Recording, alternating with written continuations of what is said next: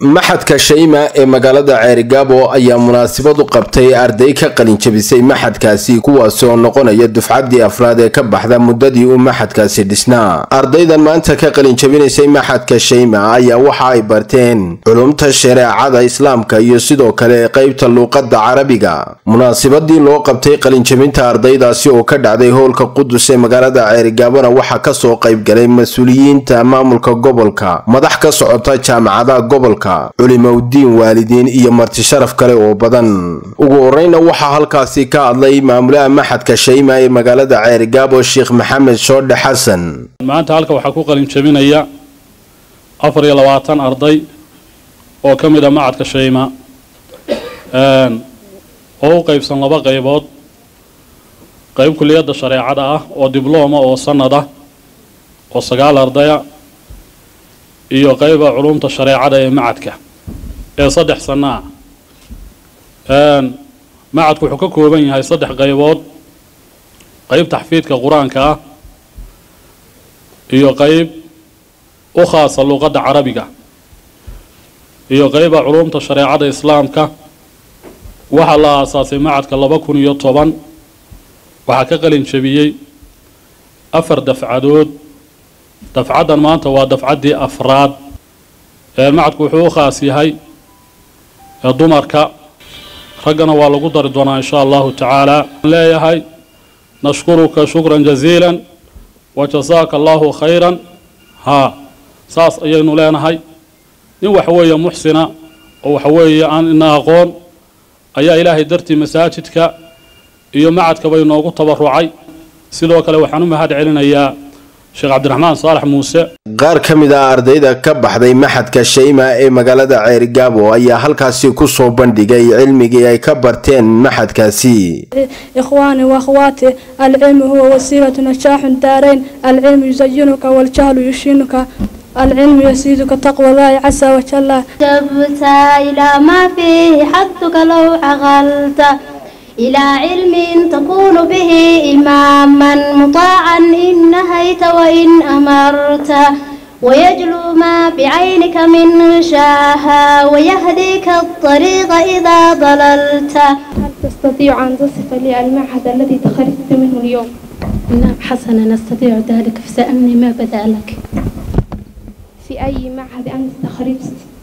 تخرجت في معهد الشيمة للدراسة الإسلامية واللغة العربية sidoo kalena waxaa halkaasi hadalka isaga kala dambeeyey qaar ka mid a macalimiinta maxadka shayma waalidiin culimowdiin mas-uuliyiin iyo xubno kale oo kasoo qayb galay qalinjabintaasi ka macalin ahaan runtii maanta farxad weyn oo aad iyo aad loogu reereeyo ayay noo tahay qalinjabinta ardaydan dufcaddii afraad ah runtii waxaan aaminsannahay inay yihiin arday lagu tabcay oo muddo afar sano ah ay macallimiintu la soo garab taagnaayeen hiil iyo hoo iyo markaasi dadaal dheeraad ay la soo garab taagnaayeen.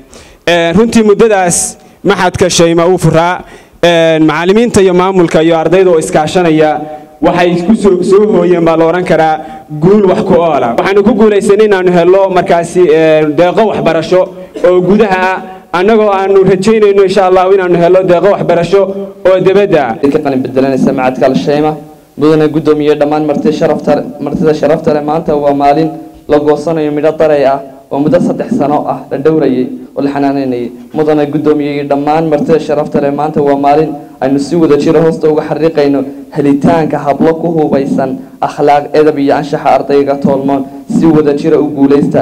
Dhammaantiin. Macadka ashayma maamulaheeda ayaan mahad u celinaynaa isaga ayaana iska leh mahadda subxaana wa tacaala ilaahay waxaan uga rajaynaynaa inuu ajar iyo xasanaad ka siiyo ardayda hablaha u badan ama hablahaba ah oo uu geliyey wakhtiga iyo juhdiga.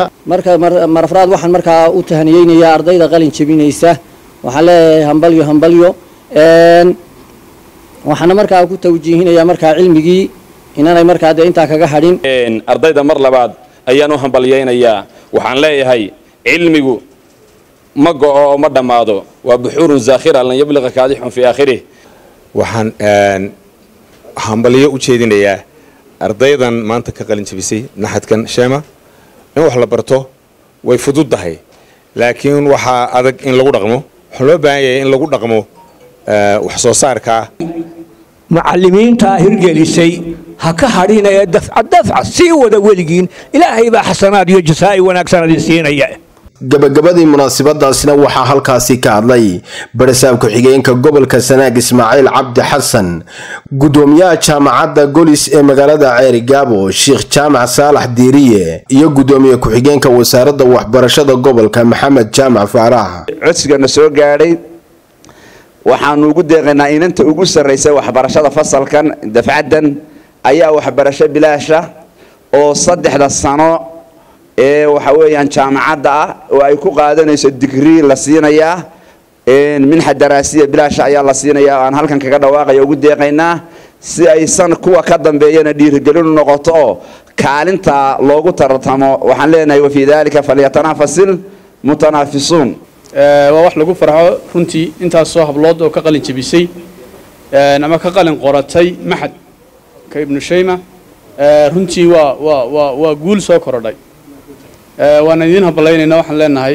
Haniian lakum hambalyo hambalyo hambalyo baan idin leenahay.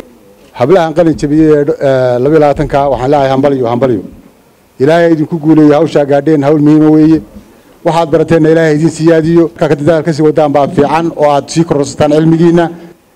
Waxaan aada ugu mahadcelinayaa jaamac saalax oo gabadha lambaruunka gashay. Ugu ugu bishaareeyey jaamacad bilaasha oo saddex sanaa inay dhigato gunaanadkii munaasabadaasi qalinjabinta ahaydna waxaa halkaasi ardaydii kaalmaha hore galay lagu guddoonsiiyey abaalmarino iyo weliba sidoo kale shahaadooyin iyagoona ardaydu halkaasi ku guddoonsiiyey maamulka iyo macalimiinta maxadka al-shayma hadiyado ay gu talagaleen cabdiraxmaan axmed ilsar star t v magaalada ceergaabo